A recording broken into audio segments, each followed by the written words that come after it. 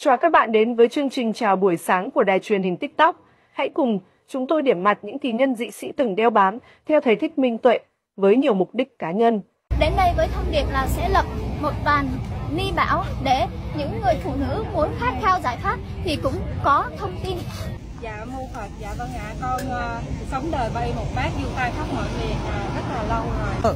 Dạ, con gọi là thầy YouTube đấy ạ. Dạ, tôi trời ơi. Giờ, giờ các thầy quay lên trực tiếp mà con mới biết rằng là thầy Minh Tuệ ở đây để con theo đấy. Sư theo tu theo Nam Tông hay Bắc Tông mà? Nam Tông cùng như Bắc Tông. Quý vị Dạ, à.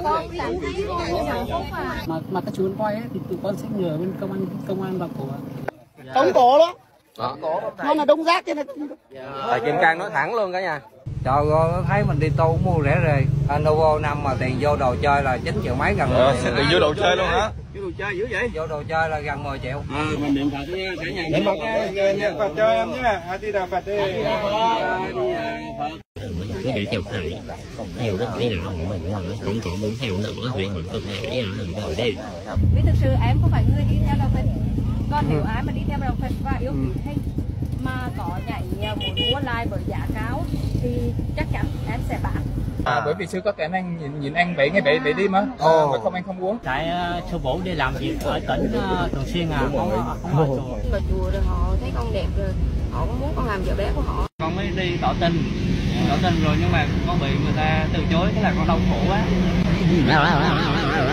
Đó là thất tình Từ đây chưa chưa đủ 1250 vị mà giống như lý thuyết của Phật á. pháp danh gì Vô danh. Không thấy thì ngay thật.